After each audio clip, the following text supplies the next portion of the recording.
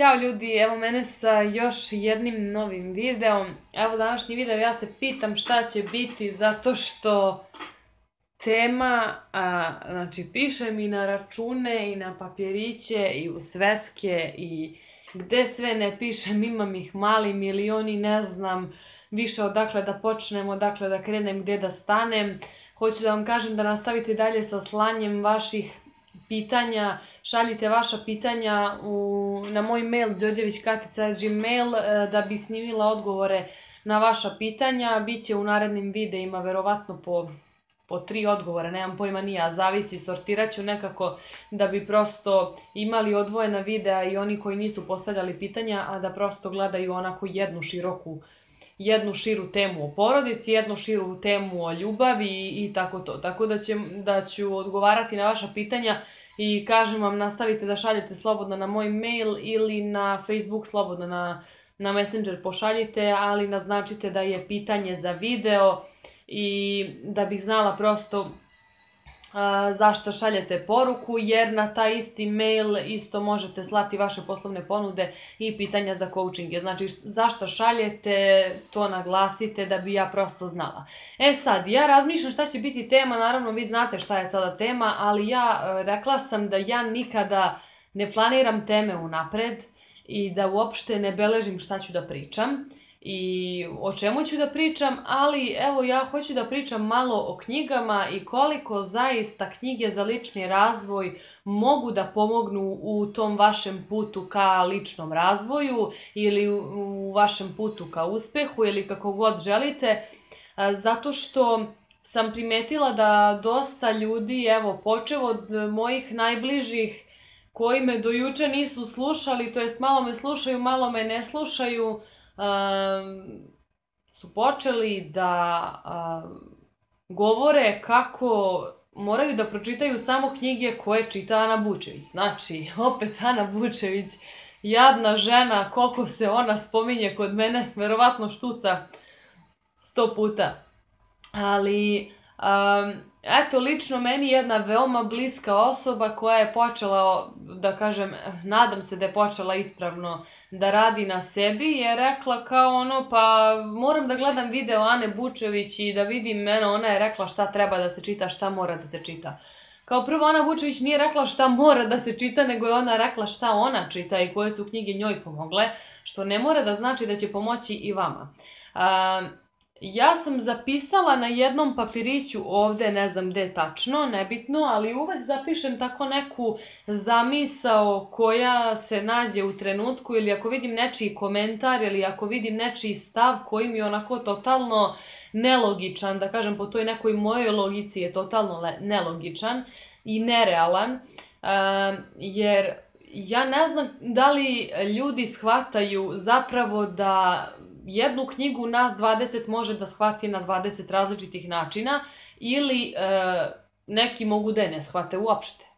Ne znam samo da li ste to da li ste o tome razmišljali. Evo sada ide seminar Boba Proktora, a ja sam gledala jedno predavanje Boba Proktora gdje je on rekao da je njemu život promenila knjiga Misli i obogati se. I mene uopšte ne čudi ne čudi me uopšte što je ta knjiga baš uticala na, na, na velike promjene u njegovom životu. I on je rekao ta knjiga sadrži tajnu koju ako provalite jednom više vam neće biti potrebno ni jedno drugo sredstvo osim te jedne jedine stvari da bi uspjeli u svom životu. I onda je on Pošto je on uspeo i napravio velike promjene u svom životu, on je naravno knjigu preporučio svim svojim prijateljima, svima onima koji su prolazili kroz e, određenu vrstu problema, međutim nije funkcionisalo. I onda su oni kao, aha, pročitali smo i to je to, šta sad, kao koja tajna, koja fora, mislim, koga zezaš. I njemu nije bilo jasno kako je moguće da oni nisu shvatili to što je on rekao. Kako je moguće da njima ta knjiga nije pomogla. Kako je moguće da su došli do tog stanja da im ne pomogne knjiga sa blagom u sebi. Znači, bukvalno knjiga sa blagom u sebi kako je moguće da im ne pomogne.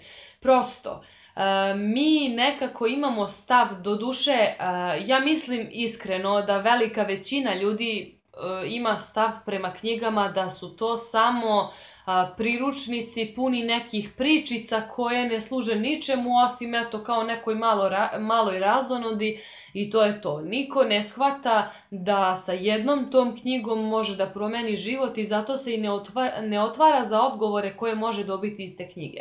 Međutim, sada ja sama mogu da postavim pitanje koje znam da mogu da postave, da može da postavi svako od vas sa te druge strane sa koje gleda.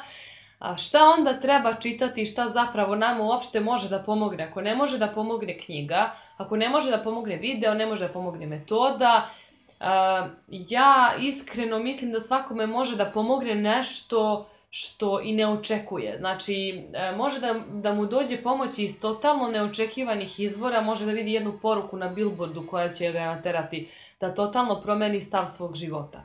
I ja sam rekla mnogi ljudi, to jest, ja sam skoro eto sedela na kafi i gledala sam tako u kafiću oko sebe i ja sam rekla ja se kladim da 90% ljudi koji su ovde, ma kojih 90, 99% ne zna za zakon privlačnosti. Da 99% ljudi ne zna šta se može da uradi svojim mislima i da 99% ljudi možda iz tog razloga neće živeti a, neće živeti ispunjenje svojih snova, to jest neće doživjeti ispunjenje svojih snova, ali veliki procenat tih ljudi koji ne znaju za zakon privlačnosti isto tako može da uspe kao i mi koji znamo za zakon privlačnosti.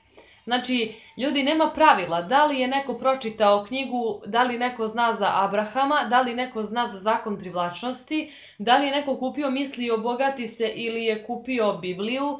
Svako od nas može bukvalno do istih zaključaka da dođe iz totalno različitih knjiga, iz totalno različitih izvora. Znači, ako je meni prijela knjiga Misli obogati se, sad razmišljam da sam rekla ispravno, da, Misli obogati se, i ja sam rekla ja se toj knjizi uvek vraćam, bez obzira što ono, eto, ja je forsiram, baš je forsiram i baš cedim sav materijal iz te knjige. Iz svake, eto sad trenutno iz e, ove kako postati, bože, kako uživati u životu i poslu sad cedim iz te knjige zato što ima baš konkretna uputstva koja su ono neprocenjiva i koja su toliko vredna da to uputstvo ne može niko da vam plati i iskustvo primene tih uputstava ne može niko da vam plati. I ja, ovaj, eto, ja preporučujem sve te knjige, ali ja znam da neće niko shvatiti knjige takve na pravi način.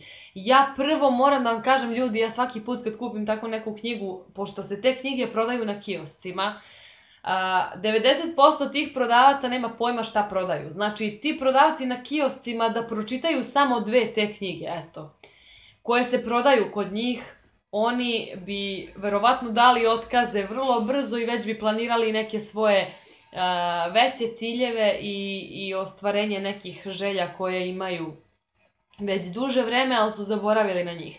I ja kad odem da kupim, znači bukvalno me gledaju ispod oka kao ono, ja i kao hoćeš, i rekla sam već jednom videu, kao ja, hoćeš da se obogatiš. Kao, pa nešto je rekla, da, pitala me prodavačica o čemu se radi u knjizi misli obogati se, o čemu se radi. Ja kažem njoj, pa to nije priča, to je, da kažem, eto, literatura koja spada u popularnu psihologiju. Znači, bukvalno učiš kako da promeniš misli i kako uz pomoć menjanja misli možeš da promeniš svoj život i kako uz pomoć te promene misli možeš da se obogatiš i da postaneš milioner. I ona je rekla, aha, kao ja, pa ne znam, kao ona misli da je to neki roman, žena misli da je to ono izmišljena priča, ona misli da je to bajka za decu, da su to, da je to mlaćenje prazne slame. I ljudi, stvarno, sa takvim ljudima, kad bi neko dao da pročitaju tu knjigu, oni je i dalje ne bi shvatili na pravi način. Zašto mnoge knjige ne pomažu? Ja sam rekla, ja ne razumem eto kako razgovori s Bogom nisu pomogli ljudima. Neki ljudi su pročitali razgovori s Bogom pre mene. I ništa nisu shvatili. Ništa nisu shvatili. I oni dalje, pa da, dobra je knjiga. Ma nije dobra knjiga, ljudi. Nije poenta dobra je knjiga. Poenta je srž te knjige. Da li ste primenili ono što u njoj piše? Ne.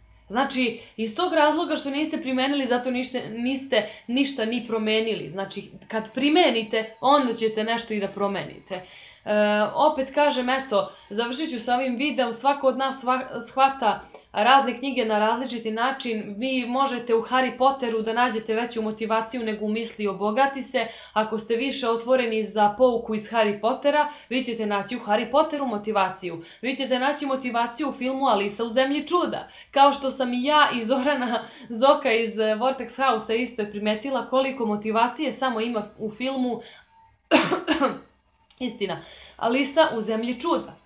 Znači, na svakom ćošku ćete vidjeti tako neke poruke koje strašno motivišu. U filmu Harry Potter vidjet ćete poruke gdje lupam Dumbledore takve savjete daje koji su svi u skladu sa ovim što mi radimo. Samo što ljudi nisu otvoreni nekada ni kroz film da vide, nekada neko mora da sazna za zakon privlačnosti pa za knjigu od Abrahama da bi saznao nešto, nekada neko kroz Harry Pottera može sazna nešto, nekada neko kroz crteni film može da sazna nešto, nekada neko kroz billboard i mi bukvalno u stvari dolazimo do istih saznanja samo na različite načine, ali isto tako na različite načine, kao što sam rekla, mi jednu knjigu svi možemo da pročitamo i da, da je shvatimo na 20 različitih načina, jer ja imam primjer, eto opet jako bliske osobe koja je rekla pa ako može sve da mi se ostvari, ajde ti meni donesi 10.000 evra pošto ja hoću da mi ti daš. Znači, E, ljudi ne shvataju, eto neki koji čitaju Anu Bučević su mi rekli upravo to, evo ja sam pročitala mogu da imam sve što želim, ajde lepo ti, pošto si ti pozitivna, ti mi stvori 10.000 evra. Mislim, ljudi i dalje ne kontaju kako to funkcioniše, tako da ja vam kažem kada ste spremni onda ćete naći odgovore.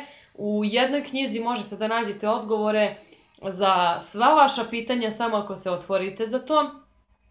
A druga stvar, vi ne morate da imate celu literaturu Luize Hay, celu literaturu Ane Bučević, sve knjige Abrahama, sve knjige od Ošoa, sve knjige od Napoleona Hilla, od Donald Walsha da bi nešto naučili. Znači, vi ne morate da posjedujete sve te knjige da bi vi rekli kao, e sad sam savladala kreiranje. Ne.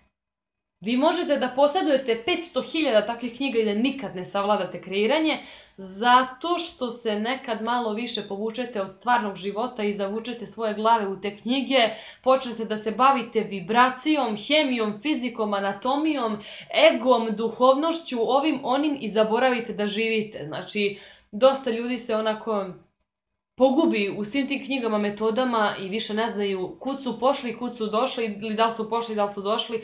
Zato vam kažem, vama kada bude trebala motivacija, vi ćete naći, kada vam bude trebalo osvešćenje, doći će, kada budete tražili odgovor, doći će na ovaj ili na onaj način. Da li kroz video, da li kroz knjigu, da li kroz pesmu, da li kroz billboard, a kada bude došla ta kada bude došlo od toga, vi ćete sami kupovati knjige koje će vama prijati u određenom trenutku, ali i to treba raditi bez forsiranja i ne treba uopšte siliti sebe da sad kao vi nešto morate da imate, da nešto i da nešto morate da radite. Evo, prekinuo mi se video, pa sad ću morati da ga sastavljam, da sastavljam dva videa.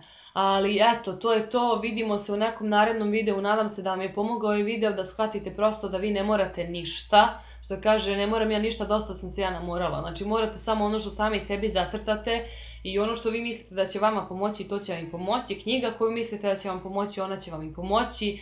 Nema veze da li eh, je sad objavio spisak knjiga Bob Proctor, da li je objavio spisak knjiga Dan Locke, da li je objavila Teresa Velfoy, da li je objavio ovaj ili onaj, prosto ljudi, uh, vi ćete sami iskreirati svoj spisak knjiga. Meni je super što drugi ljudi dele ono što je njima pomoglo, ali mnogi su shvatili da sad eto, ako je Ana podelila knjige koje je čitala, da oni moraju skroz iste knjige da pročitaju, samo da bi imali uspjeh koji ima Ana. Niko ne može da ima uspjeh koji ima Ana, jer Ana je Ana, vi ste vi. Kraj priče, vi ćete stvarati svoj uspjeh. Možda na drugačiji način nego Ana. Ali ona je tu da vam ukaže i da vam pomogne. Da prosto, eto, ako ne znate šta da kupite, da imate neki izbor, ali ne da vi kao, ja moram da skupim cijelu literaturu koju ima Ana, da bi ja sad kao nešto napredovala. Tako da, evo sad je i baterija prazna.